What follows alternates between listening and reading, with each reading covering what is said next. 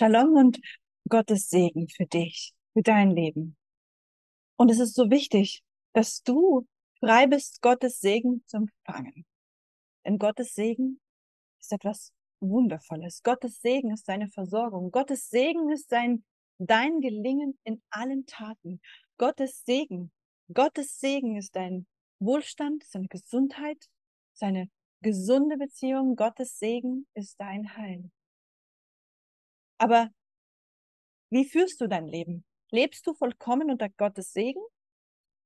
Viele Menschen wissen gar nicht, wo sie Dinge, Energien, Geister in ihrem Leben haben, die sie von Gottes Segen eben abhalten. Und es gibt nur einen Gott, einen Schöpfer.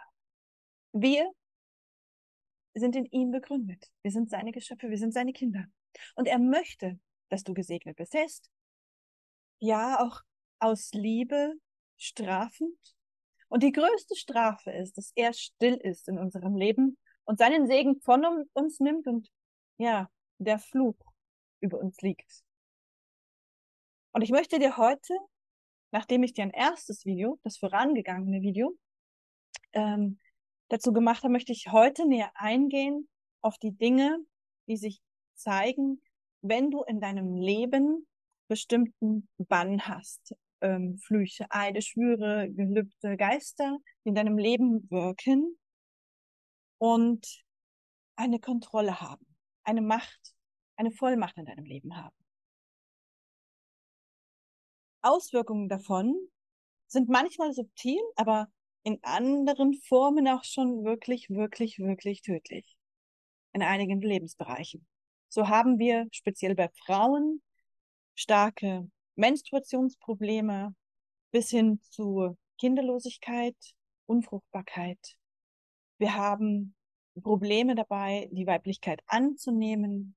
Es gibt Krankheiten, die über Generationen, Beschwerden, die über Generationen weitergegeben werden, ähm, wo der Mensch heute sagt, hm, das ist eine Erbkrankheit, das ist erblich bedingt. Und ja, das ist erblich bedingt, aber es ist eher ein Generationsfluch und er kann von dir genommen werden. Und er sollte von dir genommen werden. Dann gibt es finanzielle Not, finanzielle Probleme, Mangelerscheinungen, ein Tod von Beziehungen und immer wieder Zerstörung im Leben. Ja, dass jemand etwas aufbaut und an einem Punkt, an dem er endlich eine Form von Erfolg verspürt, wieder heruntergerissen wird.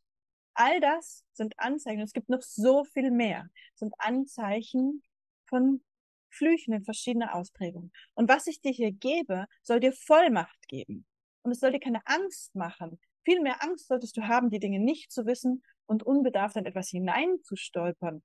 Denn die geistige Welt und die böse, die dämonische geistige Welt, sie ist ja existent. Wir haben den Okkultismus, das ist alles existent und es existiert ob du es willst oder nicht, es existiert.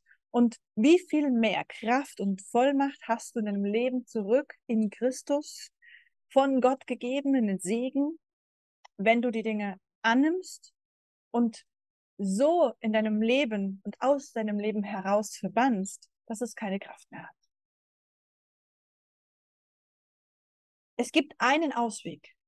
Und es gibt nur einen Ausweg. Und egal, was dir erzählt wird, natürlich möchte die satanische Welt und Satan selbst dich gerne in diesem Fluch halten, dich gerne im Fluch halten, möchte dich gerne weiter verwirren, aussaugen, deine Kraft nutzen. Natürlich möchte er das. Natürlich. Und er wird alles tun, um dich davon fernzuhalten. Er heißt nicht umsonst, heißt es der Antichrist, weil er gegen Christus geht, weil er gegen die Macht des Messias, des Erlösers, Herr Jesus, der Christus. Das ist ein Zusatz. Der Christus ist der Erlöser, der Messias. Und der Antichrist geht dagegen, gegen die Erlösung, gegen deine Befreiung, gegen, entgegengesetzt. Und er tut alles, weil er so einen starken Einfluss hat, um dich von diesem einzigen, dem einzigen wahren, wirklichen Ausweg fernzuhalten, nämlich von deiner Wiedergeburt an Jesus Christus. Und es geht allein um diese geistige Wiedergeburt. So viel Täuschung in dieser Welt. Es geht darum, dass du geistig wiedergeboren bist. in Christus eine neue Schöpfung. Vollkommen zurück unter den Segen Gottes in seine Versorgung. Ich als Botschafterin, ich habe so oft gefragt, Herr Gott, warum gebrauchst du mich? Ich habe so viel falsch gemacht in meinem Leben. Ich habe so viel falsch gemacht, aber ich bin auf die Knie. Ich habe um Vergebung gebeten. Ich habe meine Sünden bekannt. Ich habe wirklich, wirklich, wirklich so oft mehrfach hintereinander mein Leben an Jesus übergeben. Und in einem Moment der absoluten Schwäche, in einem Moment, in dem ich absolut in der Hingabe war, weil ich leer war, weil ich keine Kraft mehr hatte, kam Jesus in seiner Vollkommenheit. Der Heilige Geist kam mit seiner ganzen Kraft und sagte, jetzt, wo du leer bist, kann ich in dir stark sein. Jetzt, mein Kind, wenn du mich, wenn du mich, deinen Vater im Himmel, deinen Gott, deinen Erschaffer, deinen Schöpfer anerkennst, dann kann ich dich schützen. Dann kann ich all den Fluch in deinem Leben von dir nehmen. Dann kann ich all die Zerstörung und den Tod von dir nehmen. Und ich werde es tun, weil es ein Versprechen ist. Und das hat er getan. Und er tut es in so vielen Leben, bei so vielen Menschen. Bei so vielen Menschen. Wenn du zurückkehrst, wenn du zurückkehrst, wenn du Jesus annimmst, den Christus, als deinen Erretter und deinen Erlöser. Wenn du Jesus annimmst mit all seinen Geschenken, mit dem Opfer, was er getan hat. Aber du musst es aus geistiger Ebene betrachten. Nicht mit menschlichem Wissen, nicht mit menschlichen Programmierungen, sondern das ist es, was du ablegen sollst. Die Welt soll aus dir heraus sterben. Das ist es, wozu du berufen und gerufen bist. Du wünschst dir ein Leben in Freiheit und Erfüllung? Du wünschst dir ein Leben in der göttlichen Versorgung? Dann hör auf, auch selbst Fluch über dir auszusprechen. Es gibt verschiedene Formen von Eiden, von Bannen. Und ich sprach auch schon über die Macht der Worte. Aber weißt du, was so stark ist? So stark in vielen, vielen Leben, bei vielen Menschen, in vielen Beziehungen, in vielen Lebensbereichen ist der selbst auferlegte Fluch. Vielleicht kennst du es, vielleicht hast du es auch schon über dir auf dich auferlegt. Ich bin arm, ich bin schwach, ich kann das nicht, ich bin krank. Weißt du, wenn du das in deinem Leben hast, dann korrigiere auch da. Ich fühle mich krank, aber du bist nicht krank. Du bist ein unendlich, unendlich geliebter, ein unendlich geliebtes Kind Gottes. Und du sollst und bist berufen, Nachfolger Jesus Christus zu sein. Du bist an seiner Stadt hier auf der Erde. Und du sollst seine Kraft leben. Er will durch dich leben. Der Heilige Geist will dich erfüllen. Der Vermittler, die Wahrheit, der Vermittler zwischen Gott Vater und dir. Der Heilige Geist, der in dich kommt, der deine Räume erfüllt. Jesus Christus, der als Hohepriester und König zur Rechten Gottes sitzt. Verstehst du? Er hat für alles gesorgt.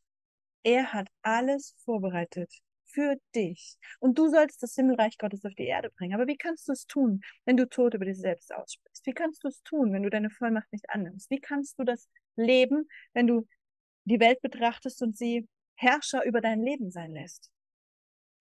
Nun ist Schluss damit. Entscheidest du das? Kannst du vergeben? Kannst du zu einem Nachfolger Jesu werden, indem du Gott in dein Herz lässt und Jesus und den Heiligen Geist und zulässt, dass dein Herz und dein Leben und zuerst in erster Linie du so verändert wirst, dass du wahrhaftig anfängst, deine Feinde zu lieben, für sie zu beten? Jeder kann, jeder kann Situationen annehmen, die leicht sind. Ein Leben leben, was vollkommen fröhlich ist. Aber die wenigsten haben es wirklich. Es gibt immer Schmerz, wenn wir außerhalb von Gott leben. Es gibt immer Herausforderungen und es gibt immer, immer, immer Tod. Krankheit, Störung, Leid. Immer. Und vielleicht siehst du es nicht, weil der Mensch sich dir nicht offenbart. Aber weißt du, wie sehr er in seiner Seele leidet, weil er sich von Gott entfernt hat und Gott leise ist in seinem Leben? Und weißt du, wie viele Menschen Fluch über andere bringen? Vielleicht hast du dich mit Okkultismus beschäftigt und hast so Fluch in dein Leben gebracht. Schwarze Magie, Kartenlegen, Pendeln. Engel, die sich als Engel des Lichts tarnen und ja auch Namen der Botschafter Gottes verwenden, aber es nicht sind.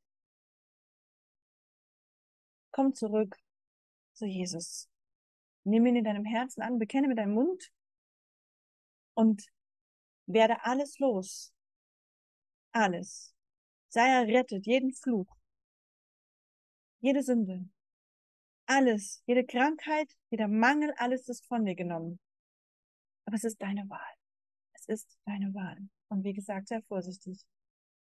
Denn der Antichrist, der in den Menschen genauso aufersteht wie Christus, versucht alles, um dich einzuverleiben, dich zu behalten, die, sich von dir zu ernähren, weil er akzeptiert Gott nicht. Er rebelliert. Er ist die Rebellion. Er ist der Widerstand. Er ist der Tod, ist die Zerstörung. Denn er agiert immer gegen die Schöpfung Gott Vaters. Wenn du dich nun fragst, was kann ich tun? Übergib dein Leben an Jesus, der erste Schritt. Wenn du mehr wissen möchtest, schau dich in der Beschreibung des Videos um. Komm in die nächste 22-Tage-Reise, in der du täglich Passions, Impulse, Offenbarungen bekommst. Der Heilige Geist, der diesen Raum erfüllt und dich sein wird. Buch dein kostenfreies Seelenmentoring. Schau, schau, wohin dich der Heilige Geist jetzt führt, wenn du ihn bittest. Denn der Befreiungsdienst, der Dienst der Heilung, der Dienst im Sinne deiner Wiedergeburt, für den Gott mich gebraucht, den sollst du annehmen. Aber ob du es tust, deine freie Wahl. Abonniere den Kanal, teile dieses Video gern und schau es dir nochmal an und fühle mal ganz tief rein. In welchem Lebensbereich du Gottes Segen stärker empfangen möchtest. Amen.